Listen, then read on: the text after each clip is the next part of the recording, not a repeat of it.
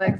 So, uh, and Mary again is the mom of Alex, and I think her story kind of says it all. So whatever you guys. Okay. Um, so um, my name is Mary, and this is my daughter Alex. Um, we um, Alexandra has HD, and um, her dad. So to start with, her dad was 27 with when he was diagnosed.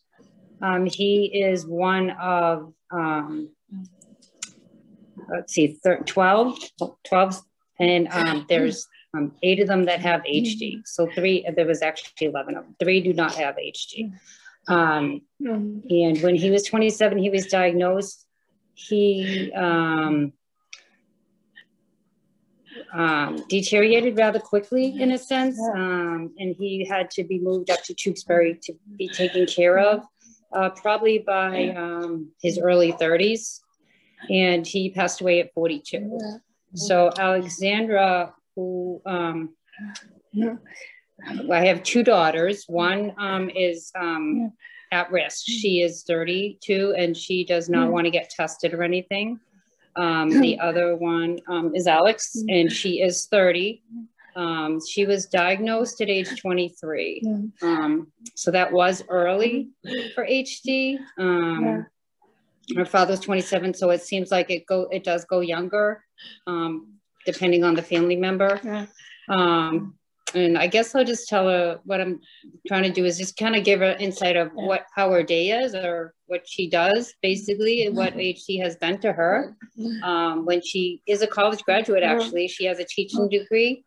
Um, and she was working with autistic students. Um, at age 23, she was diagnosed. So she was um, had trouble walking and we could see her speech a little bit. Um, so we found Dr. Frank, who is at Tewksbury Hospital also with mm-hmm. BI, and um, went to see him and got a formal diagnosis. Um, so um, about six months after that is when she had to mm. uh, kind of stop working. She couldn't, I mean, working with autistic kids, she couldn't handle them because she was having trouble mm. standing up herself. Yeah. And so um, she went on disability at age 23. Mm. So, um, you know, that was that was hard, I think, for her because her passion was always to be a yeah. school teacher, yeah. and it just didn't. I mean, from the day she was five years old, I think she always wanted to be a teacher. So, um, and so 23, not working, did some volunteer work. Uh, yeah. But then eventually she couldn't even do that. She just um, trouble with, um, like I said, walking, speaking. Um, not your typical 23 year old. She's had, um, it's been hard for her because, um, you know, while most of her friends are going out and, um, you know, enjoying their mid 20s and uh, with friends and drinking and stuff and partying or whatever they do. I mean, she can't, she can't do that. She's at home with us. Um, she um, has slowly um, need help walking. She needs help dressing, showering, um, and her speech um, is a lot of slurred. I mean, hard to understand, but it takes her longer to process what somebody's saying and for her to get those words out. So if she does speak, it, yeah. it you'll notice that yeah. she it has to. It takes a lot for her to say what she is thinking. Um, so um, she and her dad, like I said, her dad passed away, and he only has one sibling that's still left. The other ones have all passed away um, over the over the years. Um, she struggles with being exhausted. The movements make her extremely tired. We have tried a lot of different um, uh, uh, vitamins and things to help her with energy, but I'm not sure if that helps with the with her body moving so much. Uh, it's just exhausting and for her to get dressed. I mean, if she does, she does get dressed some days by herself, some days she needs help, but just getting dressed and she puts on her own makeup. So for for her to do that, it's very hard. And that in itself, just to do that part when she's done, she's just even more mm. tired. I think that's why today she was like exhausted for a nap because she really did. She got up this morning, she got dressed by herself, and she put on makeup. And right mm. there, I mean, that's like, you know, mm-hmm. right there just takes so mm-hmm. much out of, mm-hmm. we don't realize how much it takes out of someone with HD than a normal person um, to do. So she does probably take uh, at least an hour to two hour naps every other day, maybe two, three, you know, probably three out of the seven, four out of the seven days a week. Um, we were lucky enough to get her into a day program that she goes to now. So she's she is home most days. Uh, with COVID, obviously, we haven't gone anywhere. Um, but she does have a day program. We found this wonderful program um, in um, in Eastern Mass that she goes two days a week. So she goes, at least she gets out. Um, and with other people age age probably 18 to like 35. Uh, it was very hard to find a place for someone with a disability who's in their 20s. Um, most places are adult day programs. So, so she was home for a long time before we actually got in this place. Um, so she struggles with that. Being home with us, not having friends before the program because how, how is she going to get places? She cannot drive. She hasn't driven since she was diagnosed. Um, you know, so she doesn't do much on her own. Do you want to say anything? Tell about yourself. What you're passionate about? Hmm? I love to teach. She loved to teach. Yeah, I want to be a mother. Yeah, being a mother is, um, yeah, she has a hard time with that. Um, struggling to, um, struggling to not have mm, children. Like I said, mm. she's always wanted to have children. So this here is, um, is mm. probably one of the hardest things for her to, to accept. Uh, Alex, I have to just say that I, I know it's not the teaching you wanted to do, but you've done this for us a few times. You are teaching people about Huntington's disease in, in your work for the walk and, and in other places. And you did an awesome job on your makeup. You look great.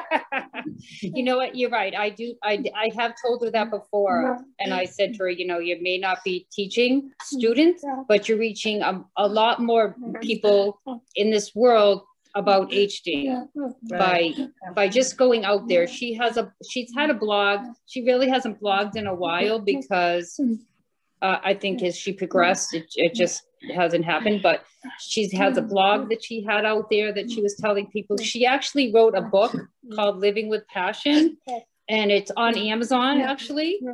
Um, when she first got diagnosed and how um, how that how being diagnosed and how when her dad had HD and how she dealt with first get diagnosed. It's it's a paperback book out there, but it is on Amazon, and she has sold quite a few quite a few um, auditions of it, um, public, you know, promoting it and stuff when she first was diagnosed and how dealing with accepting it and and um, you know what her life was like at that time. Um, so um, so that's what I tell her. She's reaching more people, even though she's not teaching young students.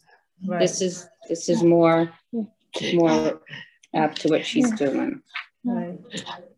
And people, I, I just want to say, I mean, between the um, the, the movements that you're seeing and and her um you know walking and stuff. There's a lot of um outburst and things um that happen um you know you or i maybe we can open a jar no issues with her. She struggles. She can't turn her hands. She can't do that um, luckily nowadays they do have more medications. So she takes a lot of medications to help with her anxiety her depression uh, her outbursts more than there was years and years ago um, before um, they diagnosed the gene, you know, determined where the gene was and stuff. Her, her dad um, had a ton of outbursts and would throw things and hit things. And that wasn't, we actually had left. There wasn't a good environment to raise two uh, small children in. So um, I have to do say that with the uh, medication and, and, the new things that they have out there for HD, um, that it has helped over the years. Um, kind of even out some of this um, tempers and things. Right. Definitely. Mm.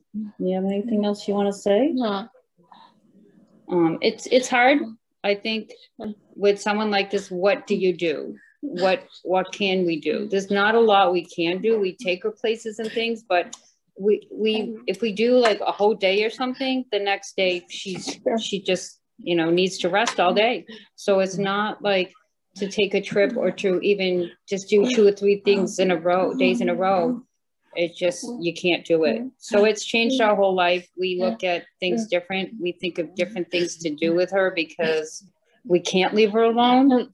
Um, we do. She's she needs someone here all the time. Between um, the off balance when she walks down the hall, she probably hits one side of the hall or, or the other. At least, I mean, every time she does because otherwise she'll be tripping or falling. Um, so when we do go long term places, we do have to use a wheelchair for her because um, it, she just can't walk that far. It's just too exhausting on her. How about, um, how is, uh, what about, um, diet and foods? Are you having trouble swallowing, Alexis? Oh, Yeah. Yeah, all her food, she is having trouble swallowing. We've had swallow tests and stuff, but we have to actually cut all her food up into like little pieces or, um, you know, we make sure it's like, we have mashed potato, you know, we try to think of things like mashed potatoes, scrambled eggs. I mean, other than that, like if it's chicken, it has to be really, really cut small, um, small pieces. They, they don't know people they they don't know like how to stop putting food in their mouth so it's hard for her to to say okay i have too much in my mouth i got to chew it. She's having she can't chew correctly because of the swallowing issues. Her teeth grind a lot so she has trouble swallowing. So you have to make it so small and give her small portions so that she doesn't put everything in her mouth and then she chokes on it going down. And it sometimes if she eats too too much too fast it doesn't go further than here and she ends up choking and spitting a lot of stuff up.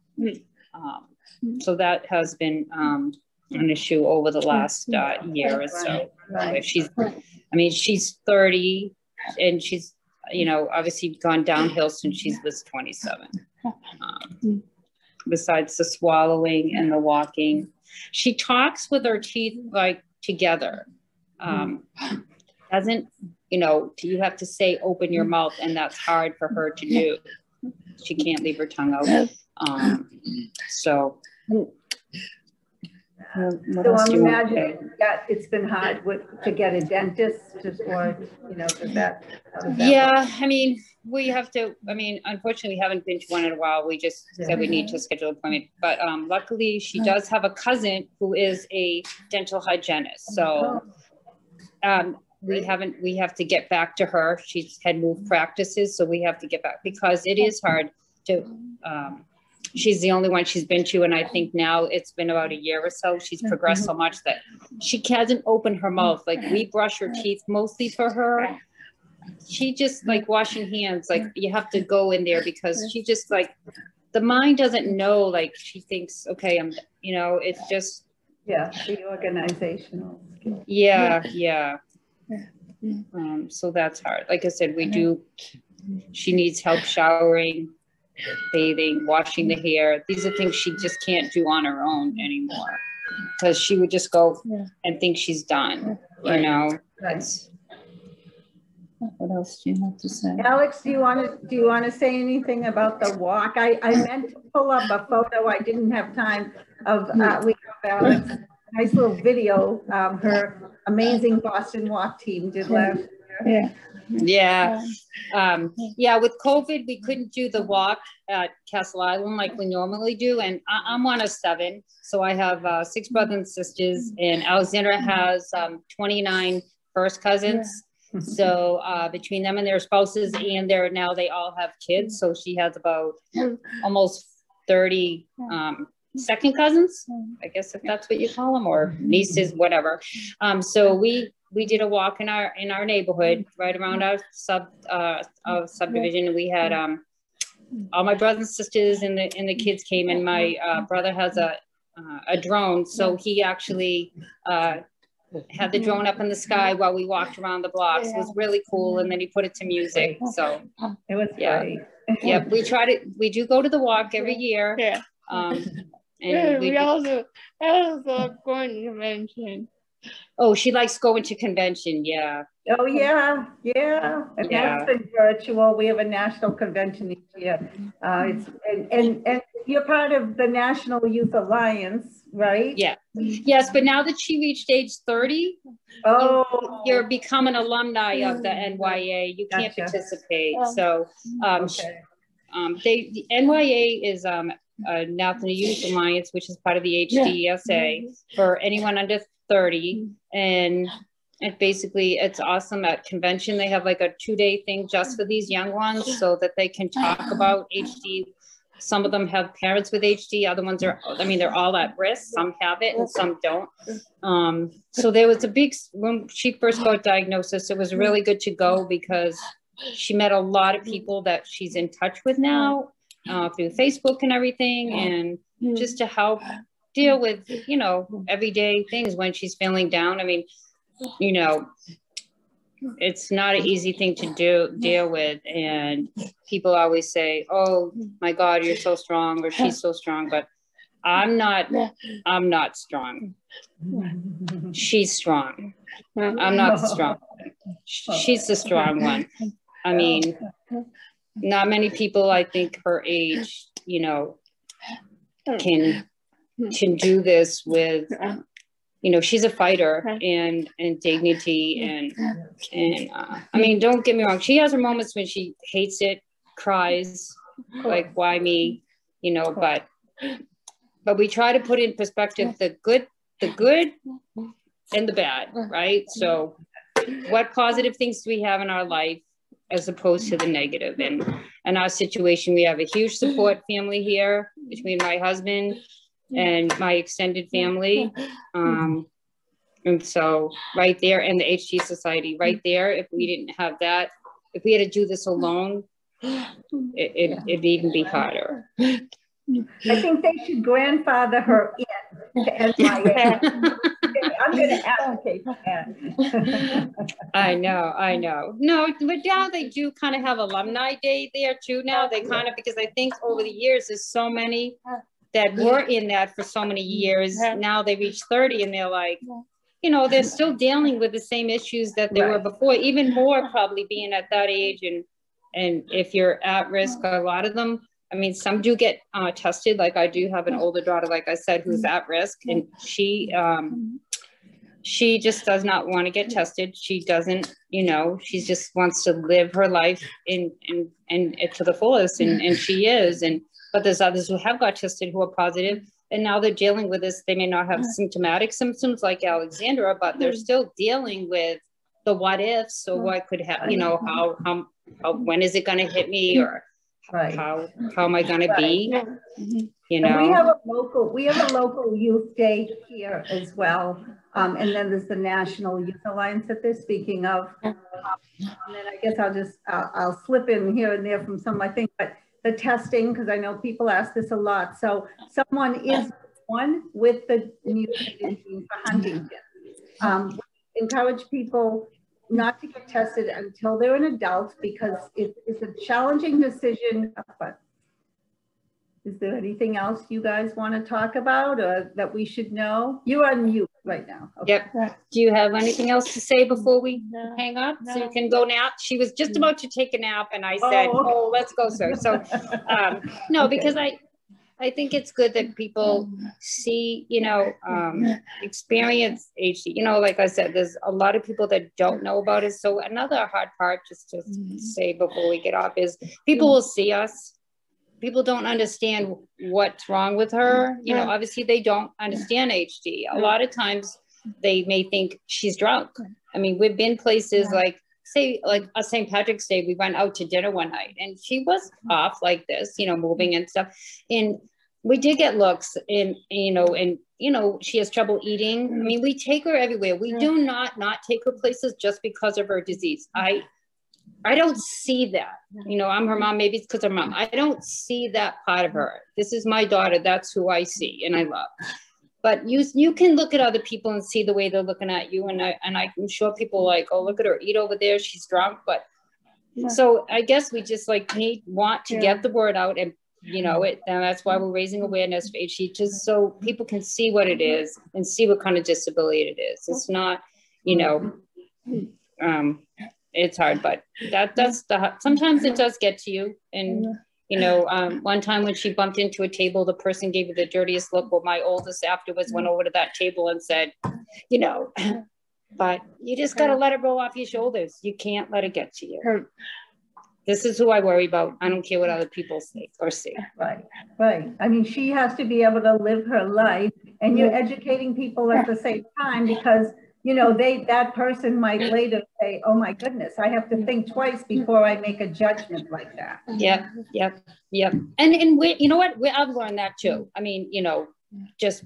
dealing with this. You know, not that we make judgment or we say, but you sometimes you probably used to think things, but now you never know. You don't know what's up with somebody or what their issues are, what their problems are. So you can't speak without knowing. You know. Yeah. So. All right, you good? Well, we appreciate you Yeah. letting us speak today, and uh, Yeah, You I'm know. grateful that you did. I really appreciate it. We hope we see you June 19th. We're trying to get to Castle Island, so stay tuned. oh, do we think we're going to be able to do it in We person? do. That's our goal. If it has to be hybrid, it will. So Yeah. um, stay tuned. I'm going to get you that. Well, information. Well, we go for our second shot on Monday, so it, we're very positive about That's that. good. We're happy that we were able to to do that. So Yeah. that's a, that's a plus too for her. Yeah. So, all right, nice seeing you. Thank you so much. you you so say? much. Being, uh, Bye-bye, All right, bye. Thank you, Mary. Thank you, Alex. Thank you. Okay. So did you want me to just go right into my uh, presentation, Christina? Yeah, I think we can open it up if anyone has any immediate questions, you know, about Mary and Alex's story, and then Virginia will take over and, you know, talk through Sure. some slides. Yeah. Um, so I'll open it up if anyone has any questions about um, about Mary and Alex um, or what they've experienced. Yeah, my name's Joan. You mentioned that um, she had juvenile onset. So I guess it, when I think of juvenile, I'm thinking younger. So is juvenile for you like under 30 or what? Yes. Um, so uh, in, in my slides, I'm going to talk about that this is generally a midlife onset disease, ages 30s to 50. So it, it's never something, I mean, there are some elderly people that just start to get the gene. Um, but for the juveniles, um, and there are people who have gotten it when they're two and five, but um, we do see a lot of teens and late teens and a few like um, eh, you know, Alexis, that it might be 2021. Um, and we do consider that juvenile because the likelihood is that the symptoms showed there, but that the beginning of the destruction of the nerve cells started um, probably, you know, at age 17, 18. And what also happens is it's a much faster progression. So sadly, you know, at, a, at, at her age, um, you know, she's probably, she's going to get, go down very rapidly. Um, so it, it's sometimes faster. Oftentimes, the younger the age of the onset, the faster the progression of the disease. Thank you. Mm-hmm. No problem. Anyone else? I know it's, it's a tough thing to see.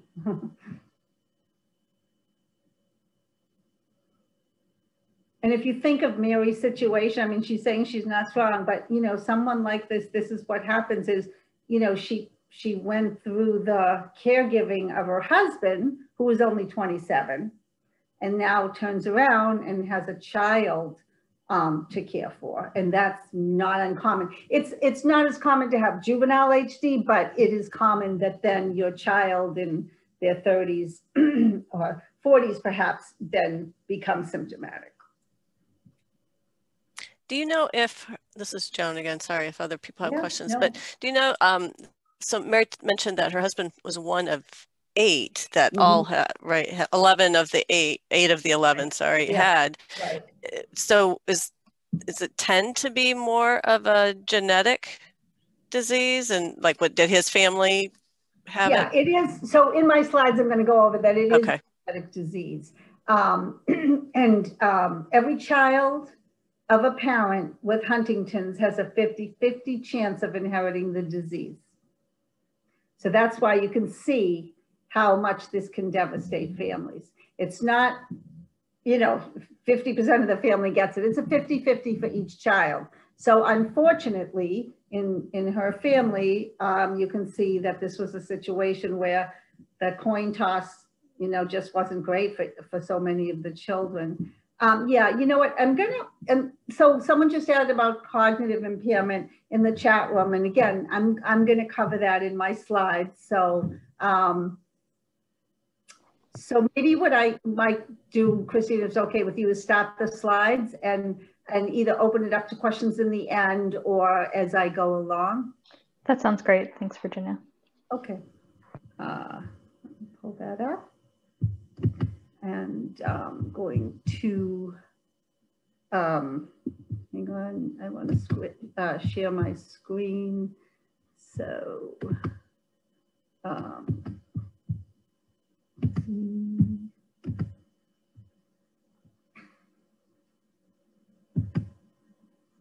um, let's see, share screen, okay. there we go. All right, let me know um, if you can see this. Yes, we can. Okay, so again, I'm just going to try to um, give you an overview of Huntington's disease and what our organization does. Um, this is, as she, um, as Christina mentioned, the Northeast region. There's four, we have four regions of the Huntington's Disease Society. We are part of this one national nonprofit organization whose headquarters are in New York City, the Huntington's Disease Society of America. And later, I'm just going to give you a little bit of an overview of um, who we are and what we do for families impacted by Huntington's disease. Um, so, um, as I said, this is an inherited neurological disorder. There are very, very, very few cases of just an impromptu, no family history, spontaneous um, disease in some someone. It happens. Um, it's incredibly rare. It's usually traced back um, it, to a family member. Uh, and so sometimes, again, if someone's adopted, you find out that guess what? Yes, it, it was the biological parent that had um, the disease. So um, again, it's a mutation of a gene. There's a mistake in the DNA code, code causing the expansion of CAG repeats. And I don't want to take too much time to get into the science. Um, uh, you work at Charles River Labs, you're probably all aware that, you know, we are made up of the language of CATG and um, everyone has the Huntington's gene in them. We all have a, that gene um, and, and it's a protein that we, we know we can't live without. But for the folks that have the mutated gene, um, there's just an expansion of the CAG repeats. Um, and that is hence the cause of the cell damage. It's an autosomal dominant gene, which means that every child of an affected parent does have a 50-50 chance of inheriting the disease. It's progressive and it is fatal at this time. We'll talk a little about that later about um, the research and how we hope it won't be fatal. Um, it causes changes in thoughts, changes in emotions, and changes in movement. And I'll go into detail on that in a minute. It is considered a rare disease. So in America, there's about 41,000 people that have it, but 200,000 more people at risk. And as we know very well um, at HDSA, um, it affects many more people because as you can see, there's siblings that have a, a, a, you know, someone that has Huntington's, there's children that have a parent that's Huntington's, and a, a you know, a, caregiver is a mother or father who um, is caregiving for um, a spouse and then children. So it really does impact the whole family. The age of onset, and so this is what I was mentioning earlier, begins in midlife, 30s to 50s. Um, and again, very few cases, no, not very few, but less and less if you saw a scale. As you get older, you're more out of the woods. So if, if I had HD in my family, if I tested, if I didn't take the test and I'm in my 60s, there's more of a chance I probably escaped the fate of Huntington's. But unless I get the test, that's not a definite because it can strike in later ages. Um, the other thing that um, I should mention is that, um, you know, Alex stated that her dad had HD. There is very much a tendency, if you inherit it, it from the father, that you will get it probably younger than the father, and many of the juvenile cases are from a father. None of this is exact. You can't say this is how it's going to be, but the trend is there. Whereas if you get it from your mother, you tend to get it roughly at the same age mom started to become symptomatic. Um, does so for non-juvenile cases, there's a progression of over a 10 to 20 year period. We start with the very mild symptoms in the beginning when we're looking at this 10 to 10, 20 year period, um, which again progress all the way until um, death. Um, juvenile HD is the exception, as I mentioned earlier, with an earlier age of onset and faster progression. Um, sometimes too, the juvenile HD, they have um, some, especially the younger, or even younger than um, Alex, more of almost a Parkinsonian rigid-like movement disorder than you see with some of the flailing movement of um, an adult with HD. Um, but there is a progressive breakdown of the nerve cells in the brain, which causes slow loss of physical and mental abilities. As more and more brain cells die, the symptoms increase, eventually leading to someone totally unable to eat, to speak, or swallow. There are personality changes, anxiety, depression, obsessive compulsive disorder, um, impaired judgment. People get an unsteady gait and eventually are unable to walk. They have involuntary movements, the movements she was speaking about, and the slurred speech. Those are what leads to what she described for so many of our poor people where they are um, identified as being intoxicated. They get arrested by the police. Um, and so we try to do a lot of education even to our local police stations.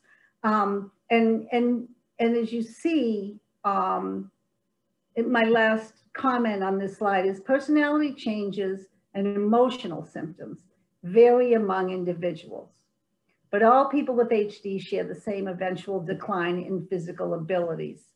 The reason I wrote that is that it, it seems there's more variation with people um, with HD as to how irritable they get and whether indeed um, they get um, their impulse control um, issues from the changes in the brain um, lead to a, a, more aggressive, you know, a more aggressive in nature.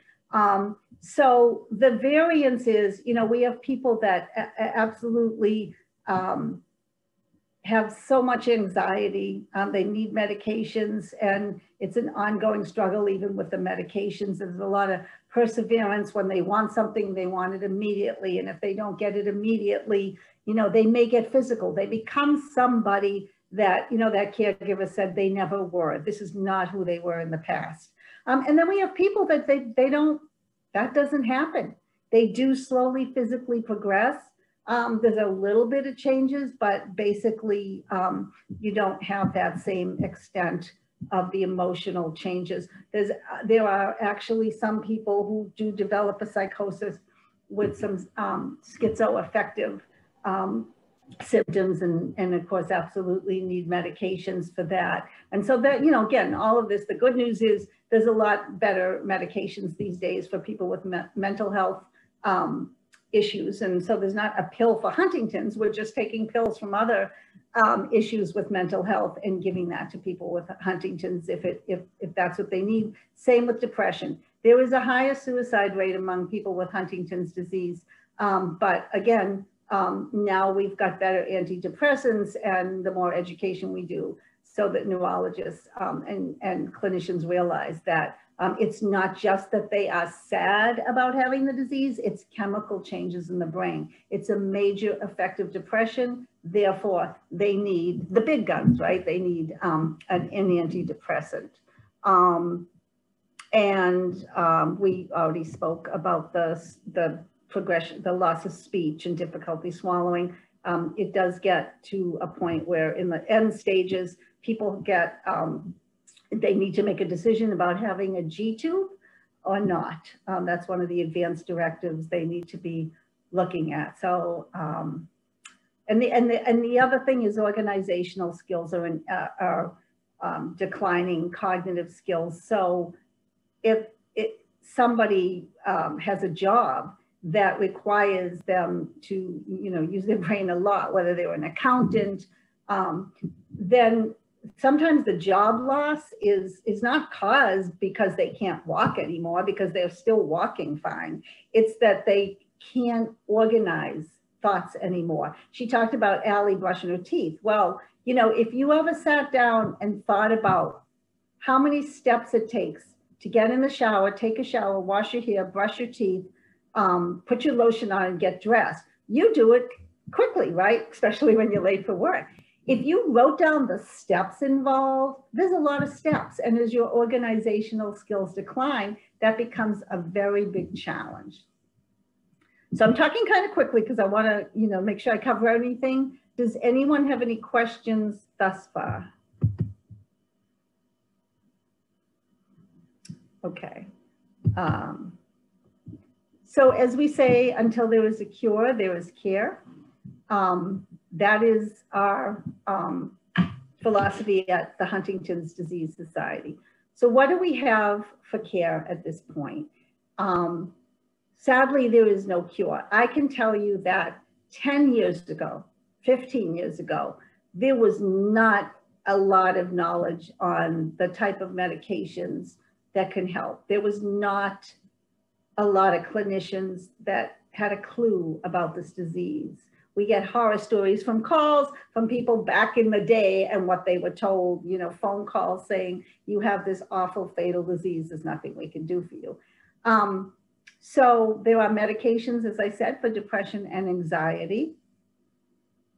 And even though there's no medications to slow the progression of the disease yet, um, there is amazing um, work being done in labs across the country and companies across the country that are working on, and some of them are in stage three clinical trials, where it has shown to um, absolutely slow the progression of the disease. And they're in human clinical trials. So these are, um, have come about really in just in the past few years. Um, so the hope is that, that within the next you know, three to five years, maybe longer, but hopefully not, um, we will have something that will have that person who may have been symptomatic in their 30s or 40s not become symptomatic until their 70s or 80s. And as you can imagine, that's a game changer. And it also allows time for our scientists who are all working so hard and working so quickly um, at such an amazing pace to come up with the absolute holy grail, which would be a cure, right? So um, we, our families have a lot more hope than ever before. There's um, so many more biotech companies and pharmaceutical companies now involved in this, and the list has just um, grown so much in just a very short amount of time. Um, there is um, a few medications, just a couple out there that do help with the movements. They, they, they help. Um, again, none of these stop the disease and they don't slow the progression.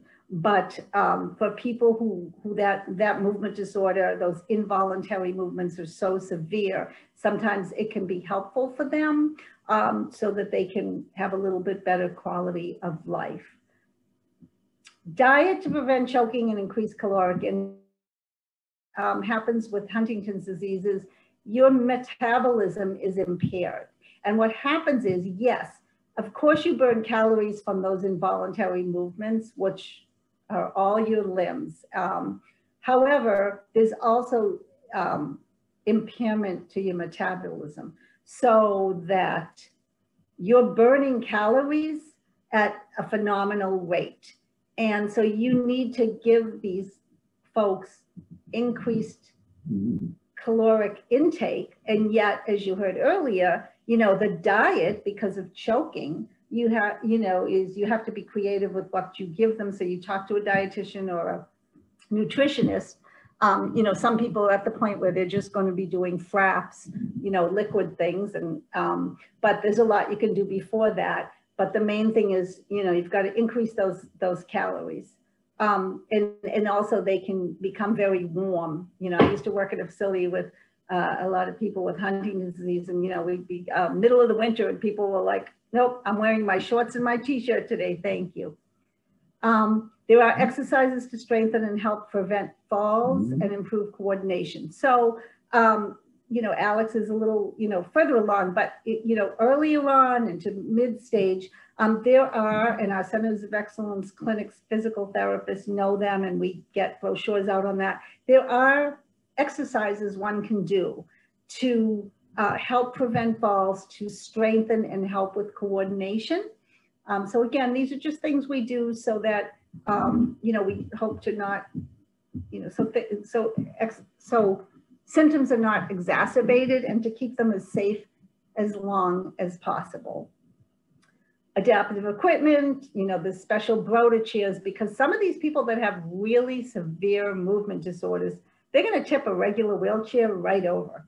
Um, and so they're going to get, uh, you know, bed sores in the bed. So there's padding, but the Broda chairs are very strong chairs. They're impossible to tip over and they've got lots of padding. Um, you know, utensils for eating, weighted utensils, because again, if you've got that issue with the movement and just coordination. So um, we have those. Um, educating caregivers on how to communicate with patients. This is so important. So the thing that's different from Huntington's than from Alzheimer's is this.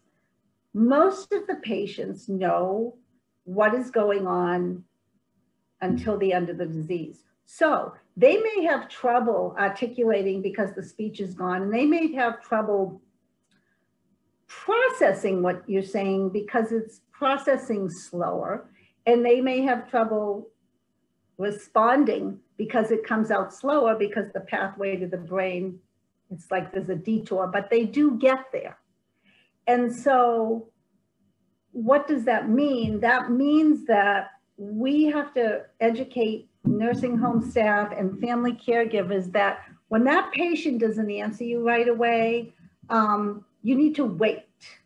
It's not that they're demented and didn't understand what you're saying. It's not that they're depressed and don't want to answer you. They're taking longer to process what you ask them and to process their reply. And this has prevented so many issues when we can educate caregivers on that fact. Um, so there's things like that. There's things, there's a, a, lot of other things that we educate caregivers on with regards to communication. They try to not have a lot of excess stimuli, which can be confusing when you have issues in the brain. So if you are trying to keep them calm, if you're trying to have a conversation, you can do it in a quiet setting and, and again, don't shoot a bunch of questions of them all at once. Our HDSA Center of Excellence clinics, we now have 54 across the country. We started at 20 only, oh gosh, I, I don't know, maybe five, six, seven years ago. So that's pretty phenomenal because what happens at the clinics is, as you can already see, this is a disease where, um, you know, it's complicated. There's so many symptoms and they can go to a clinic where everyone there has an expertise in Huntington's, the physical therapist, the social worker, the genetic counselor, the neurologist. Um, and um, they also will help to educate um, professionals and family caregivers, as well as our HDSA social workers. As I said, they'll go out to nursing homes and other places to educate the staff because it's really challenging if they just have one patient with Huntington's disease. It's hard enough that they're usually 20, 30 years younger than the rest of the population, but um, they've never seen these symptoms. And so that can be really helpful. And the other thing our centers of excellence do is they, they screen people that want to be in clinical trials.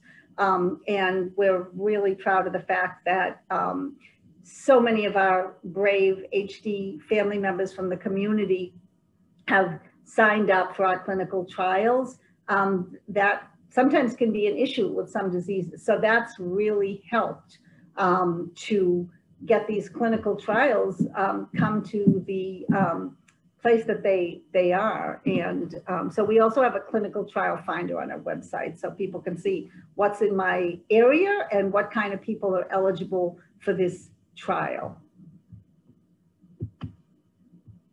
So uh, uh before I talk about the Huntington's Disease Society of America, does anyone have any questions? I threw a lot at you about the symptoms, the incidence of Huntington's or anything like that.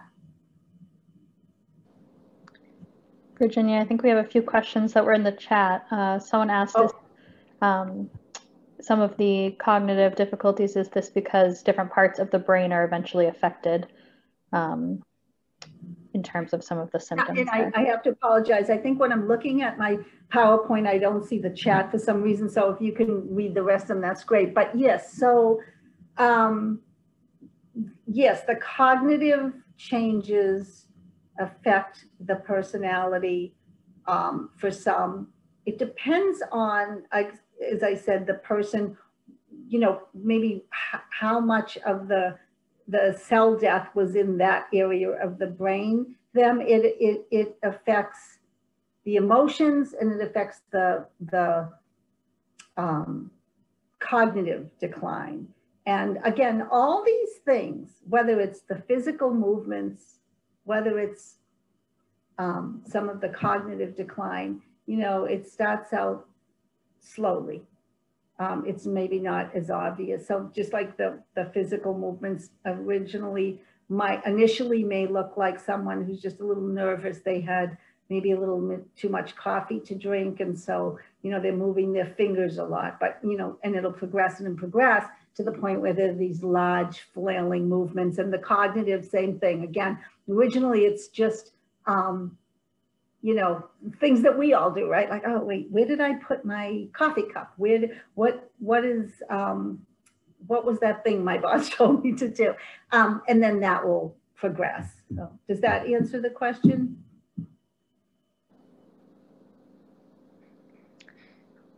Yeah, thank you.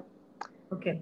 Uh, the next one is because Huntington's disease is caused by extra repeats of one small section of the chromosome 4, is there a way to inhibit extra production through drugs? Um, is that something that's being worked on? Right. So again, it, so one thing you can do is you can go to the hdsa.org to HD Buzz, and they have updates and great free just all kinds of articles and webinars that you can download on the many different um, trials that are happening. And so, yes, that is included as well. And a lot of, so a lot of what people are targeting now um, is with messenger RNA and tricking, tricking the system into not um, continuing to create more of the mutated protein because um, that mutated protein is basically clogging up, right? It's clogging up the, the brain cells and, and uh, the brain and the, and the pathways. And that's um, and hence the issue. So um, not being a scientist and not wanting to get, you know, say the wrong thing, I can tell you that yes, that's one of the many things they're doing. But if you want the details on the specifics of the different trials, to go to hdsa.org and hdbuzz especially um, it, for anyone who's, um, you know, more of a layperson than a scientist, as well as those who are um, already uh, researchers, you'll find a lot of great information there.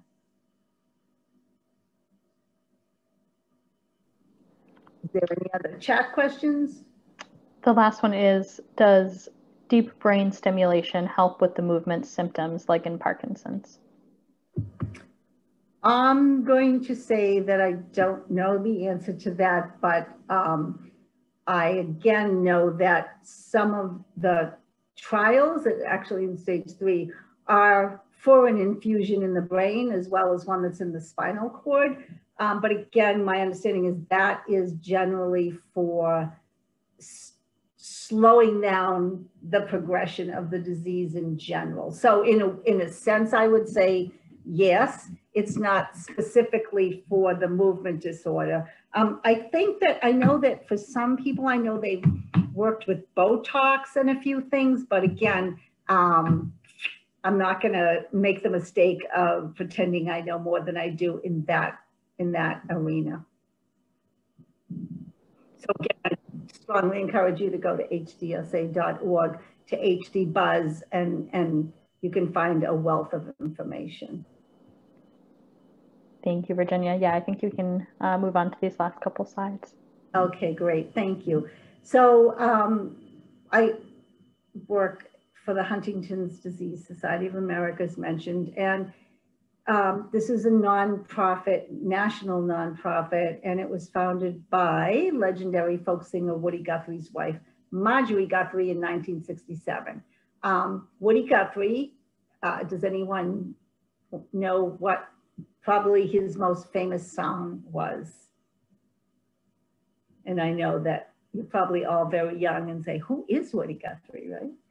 Um, the answer is this land is your land. And uh, so Woody Guthrie, um, he was a political activist, he was a songwriter, and his wife Marjorie Guthrie was a dancer in New York and in the, it, a ballet dancer. And um, it was sort of an unlikely pair, but at any rate, Woody lost his battle at age 55 and he was um, in a state hospital in New York and Marjorie was frustrated by the lack of knowledge about the disease and um, made it her business to um, educate and advocate um, so that other families wouldn't um, have those same issues. She um, basically started the Huntington's Society of America um, from her kitchen in New York City by placing an ad in the New York Times.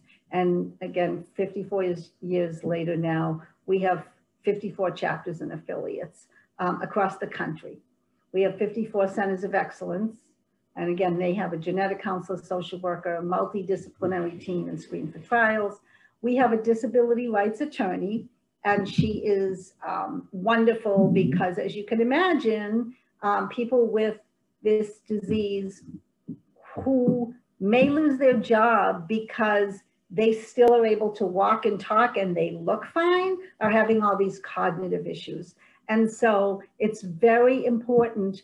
Um, people often will get denied, even though they have this horrible fatal disease, disability. And so she's very helpful in what they need to know from the start when they're applying and if they get denied what to do.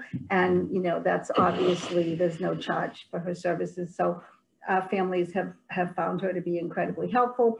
We have social worker support groups and a helpline and telehealth. So even in the virtual times, we did not cut back on any of our mission and our social workers have been busier than ever. So a lot of our support groups moved to virtual, but they go out, they educate, um, you know, these agencies, these nursing homes, daycares, jails, anywhere someone with Huntington's is, we will be there. Um, the telehealth has been great for people that otherwise maybe can't get to um, a therapist. And um, so that's been very helpful in, in certain areas of the country. Um, it's, it's accessible to anyone in the country, but it's helpful for those who don't live near places. The clinical trial finder is on our website. So I mentioned that already. People can go and find a trial near them. Um, funding to researchers, we, um, we have uh, several programs to fund young scientists um, and others to do HD research. And as mentioned earlier, um, the results from research for HD in general are just really exciting these days. Um, so I'm, I think I already kind of covered the research updates and, and again, encouraged you to go to hdsa.org. Um, I, I can't say enough though that this is really uh, a, a, a, you know unprecedented time for families that, that you can understand how tough this disease is. And in the past, we were able to say, we're working towards a cure, um, hang in there. um, and now we can tell them that there is a light at the end of the tunnel coming soon. And that that's a game changer. Um, we do advocacy at the state and local level for the Parity Act. The Parity Act, we got part of it passed, which is so that people with Huntington's, um, if they apply um, for um, disability, they have their um, application expedited because it can take a long time. And we did pass that. Um, and now what we're working on is that then they don't have to wait two years to get Medicare so that they, they have that as well. So we do a lot of advocacy on that and we're hoping this might be the year that we make that happen. National Youth Alliance, I guess we already touched on that. Um, and again, just a great thing. We have a, a local thing here, but nationally it's just everyone getting together and saying, oh, I don't have to explain why my mother has movements. I don't explain what it's like to be at risk because I am surrounded in a room full of people um, that get it. And um, local education days, we go out, we um, have education days for our family caregivers. And um, we have a national convention. Um, it was in Boston in 2019, just days of, you know, 1,200, 1,300 people getting together and um, getting the latest information on HD. Some of them, it's their first time. They was recently diagnosed in the family. And some people, this is what they do and they've done it for many years. And it's just like one big family reunion. It's, it's incredible. Um, I already mentioned we do the outreach to nursing homes. And we have free publications on any topic of HD. So someone can go to our website and if they're looking for um, how to find a nursing home, how to, what do you need to know about genetic counseling? What do you need about uh, swallowing and diet? Um, you name it, we have it.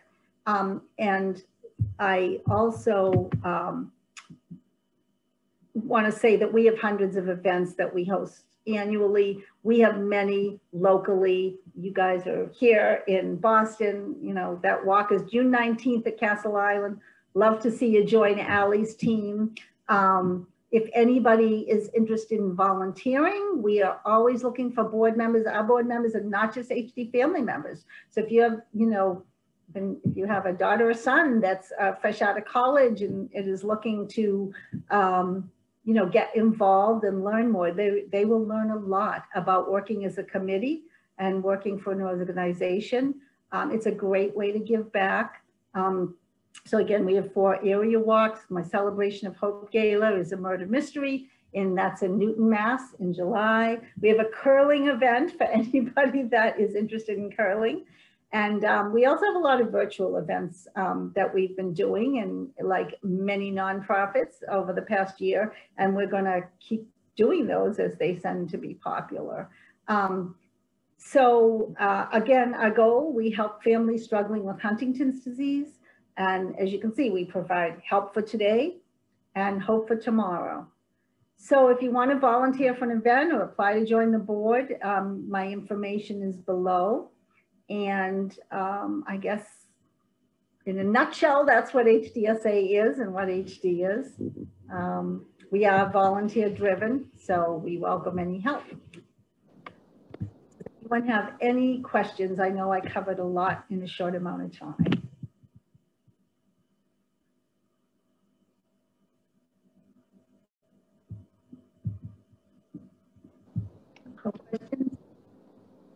Well, thank you so much, Virginia. This was really, really informative and, and very helpful. Um, I really appreciated all of the information and hearing Mary and Alex's story was, was very powerful. Um, and I will share these slides afterwards with everyone if that's okay, so they can have this information. Um, and if they're interested in getting more involved, can uh, can do so. Yes, so. absolutely. Thank you, everyone. And uh, everyone, let's hope we all can gather again soon. Thank you, Virginia. Thanks everyone for joining. Thank you. Thank you very much.